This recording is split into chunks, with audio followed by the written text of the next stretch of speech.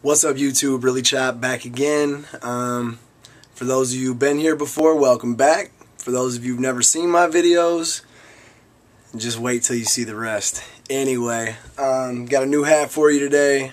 New G.I. Joe hat. Like I said in the last video, I don't know if they're going to release these hats because New Era put them on their site and then they pulled them.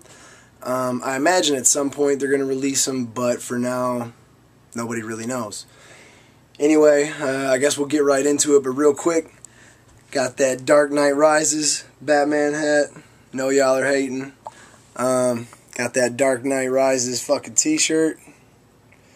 And just to piss some of y'all off, got my Batman mids on, Nike mids. And uh, yeah, that's how we do that shit. Anyway, still got another one of these for sale, size 7.5, and y'all can see it on head. Don't look bad at all.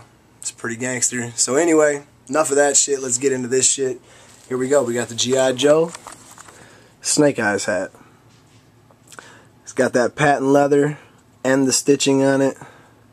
And it's like a weird, kind of like the Captain America hat. Same material. Got that black New Era flag. Got them bars on the back. And then on the inside,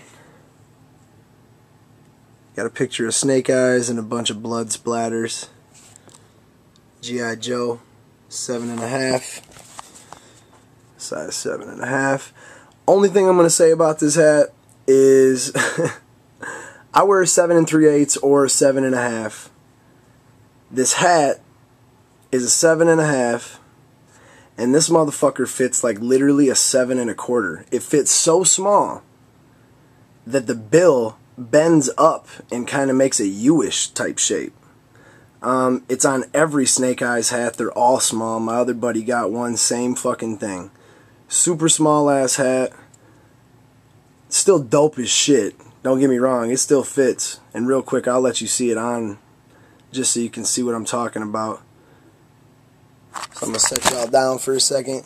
Take that off. Pop this on. Now, see how that motherfucker kicks up so hard? It bends. However, it don't look bad. It don't look bad. It's just tight as a motherfucker. And it feels tight. So this ain't a hat you want to rock all day.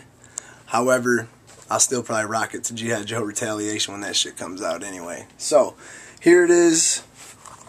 Another look at it. Snake Eyes hat. Still dope as shit. I don't care if it fits tight or not. It's sick.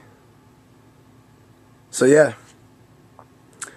Y'all keep watching. Stay tuned. More hats on the way.